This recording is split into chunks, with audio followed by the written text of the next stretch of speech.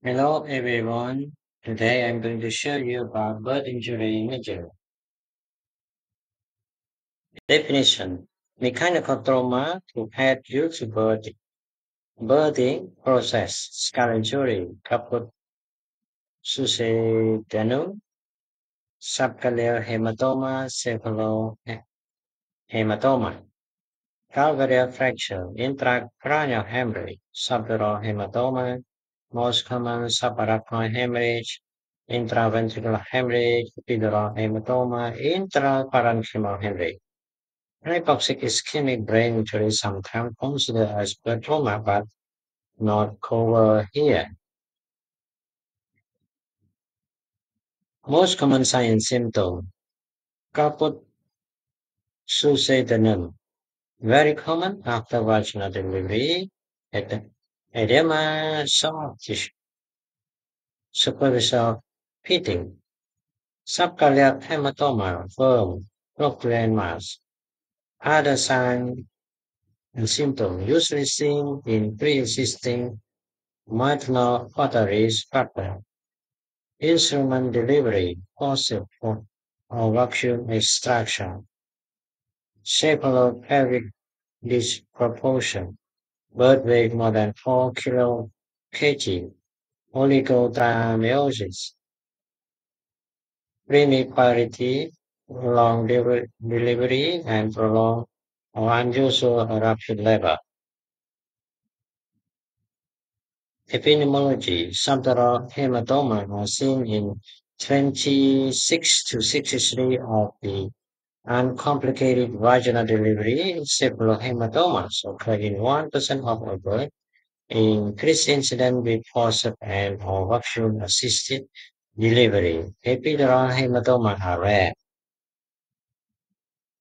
Imaging, skull hematoma, caput succedaneum, in superficial soft tissue, cross suture and midline. Subgaleal hematoma due to epicranial aponeurosis, cross suture and midline. Cephalohematoma, subperiosteal, limit by suture. And calcified over time. Calvarial fracture, usually non-displaced. The breast fracture often has smooth matching. Intracranial hemorrhage, subdural hematoma are more common, usually small, without associated muscle pain. Epidural hematoma are rare and usually associated with fracture. Hypoxic ischemic injury considered separately. Non-contraction NCT in a one-day-old infant status post-vaginal delivery with vacuum forceps as is uh, so scar swelling is subperiosteal cephalohematoma, subgaleal hematoma deep to the epicranial aponeurosis, and diffuse overlying caput succedaneum. Also notice small subdural hemorrhage along the tentorial left leg. Non-contraction CT in the same patient demonstrate subdural hemorrhage along the tentorium and in posterior portion.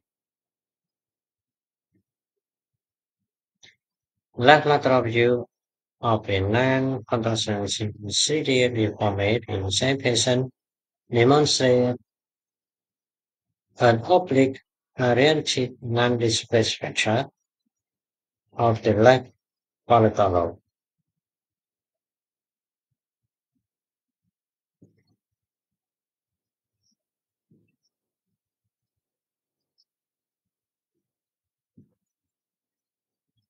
T2 appear in the same patient, so a small left-sided epidural hematoma in association with the scalp fracture, low brain parenchymal abnormality was seen. This was minute conservatively give the small size and lack of mass effect.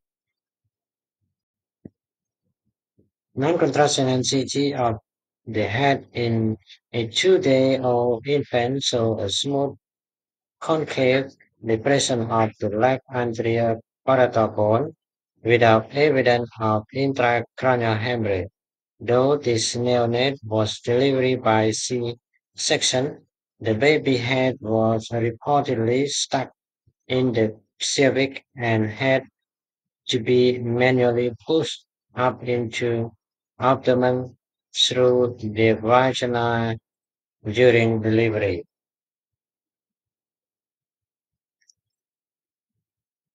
Left anterior oblique view from a 3D reformat CT of the same patient further demonstrate the smooth depression of the left parietal bone due to its similarity to the form ping pong ball.